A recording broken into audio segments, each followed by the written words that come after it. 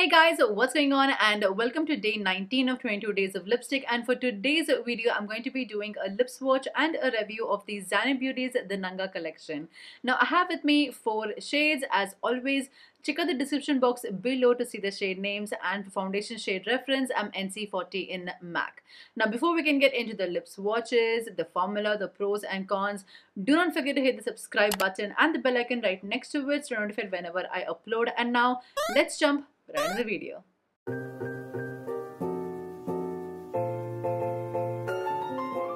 So these are priced at 799 rupees for 5 ml of product and they offer 7 shades. So this is how the packaging looks like which comes in this clear tube with a black cap and at the bottom you have the shade name and number and this is how the applicator looks like. And now let's finally move on to the lip swatches.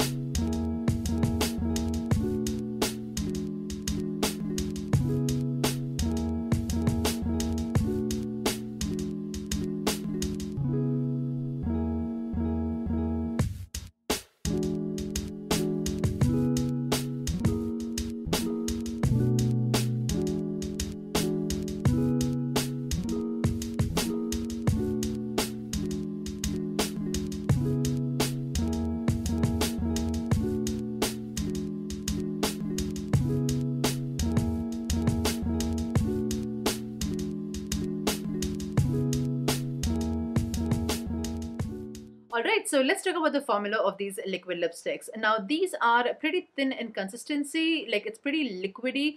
At the same time, it is extremely pigmented as well. Like with just one dip, I'm able to cover my full lips and I'm good to go.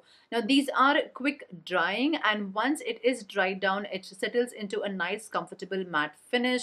Now these are quite comfortable and lightweight on the lips that it does not feel like you're wearing any lipstick or anything on your lips at all. Now these are transfer proof for example. There is almost zero transfer and these are obviously mask friendly and they last for like solid 7 to 8 hours if you do not eat anything. And once you do have a heavy meal, this is how it looks like.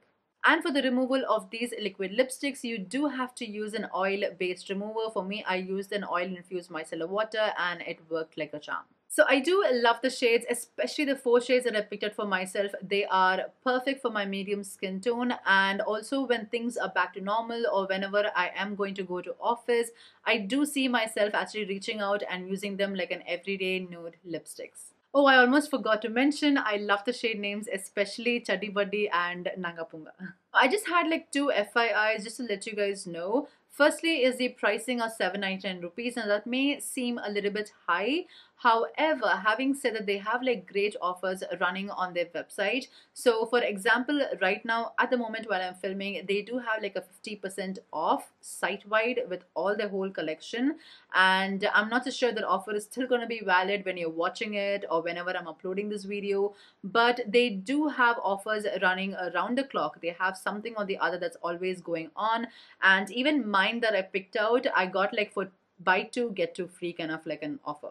The second thing is that the shade Nanga Punga as well as Brown and Lovely they do seem a little bit similar on my skin tone like with just little bit of a variation on their undertones. So if you are planning to choose choose either one choose wisely or if you really want to buy both then great. And now coming to the cons the first one is the availability. Now these are obviously available on their website. However i'm talking about websites and apps like Nykaa or Purplle or uh, amazon and flipkart. These are not available there. Now i used to be like this and even to this date some of my friends are but they're kind of skeptical about buying things off of the brand's website directly and they kind of prefer going through you know like a big e-commerce website like Nykaa or Amazon. But at the same time I feel that a lot of people are missing out because it is such a good formula. The shades are beautiful. So yeah that is the first con for me the availability. The second con is to do with the shades. Now, these shades are beautiful, but I'm talking about a different collection where there could be like red shades or pink shades, bolder colors, it would be amazing. So overall, I do highly recommend these liquid lipsticks because the cons are not like a big deal breaker or anything.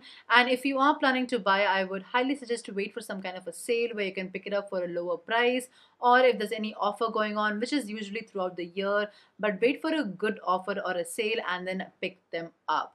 And uh, yeah, these were my thoughts on the Zany Beauty's Nanga collection. And guys, this wraps up today's video. I hope you guys enjoyed it. If you did, do not forget to hit the subscribe button and the bell icon right next to it so you're notified whenever I upload as well as like the video and comment down below. If you have any questions or requests, I will try my best for you as well as follow me on my socials which is Instagram on Instagram and Instagram on Twitter as well. So until the next time, take care. Bye.